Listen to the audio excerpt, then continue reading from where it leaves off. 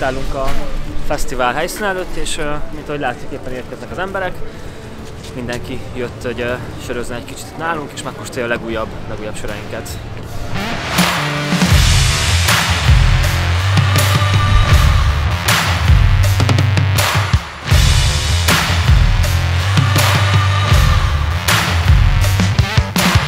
Őszintén szóval nem számítottam, hogy a ideg ellenére ilyen nagyon sokan. Nagyon reméltem, hogy jönnek ilyen sokan, de nem számítottam. Kicsit alulbecsültem, de szerintem jól felkészültünk ennyi emberre.